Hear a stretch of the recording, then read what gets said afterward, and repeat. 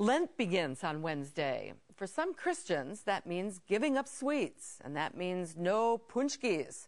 You've never heard of them? Just watch. And Wisconsin reporter Andy Soth will soon have you craving the Polish pastry that is the pride of Pulaski.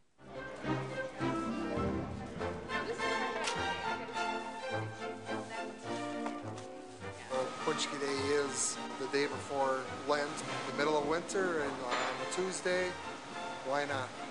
Why not a paczki? It's similar to a Bismarck, but it's richer and has more butter and eggs in it.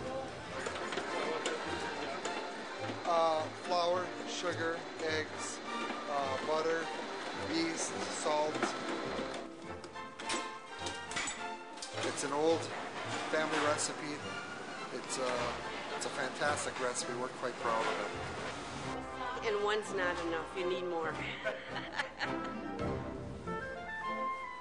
Draw from people from the from the UP, uh, from the Fox River Valley, Fond du Lac area, Milwaukee, uh, Chicago. We've even had. It's a long process. We start at one o'clock Monday morning, 36 hours ago. That's all right. Sleep's overrated.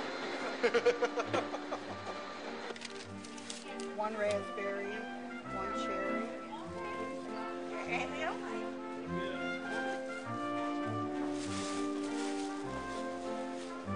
pretty much stuck to the basics. But then, you know, we had so many people asking for chocolate. Yeah. Chocolate one? No chocolate. chocolate And some of the traditionalists that come in, you know, they're kind of like, ah, that's not paczki. What are you, what are you doing? You know, it's either brewed or it's plain. You're kind of like, oh, I've got your proof, don't worry. These are ready to go and those aren't too far behind. So we're going to take these to the fryer.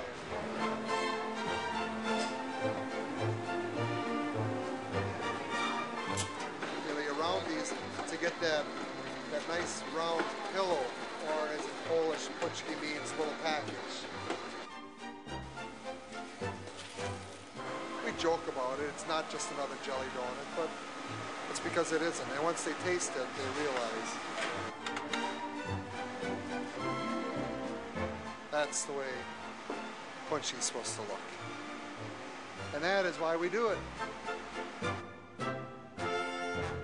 Greg Smurawa says his family bakery sold more than 12,000 paczkis just before Lent last year.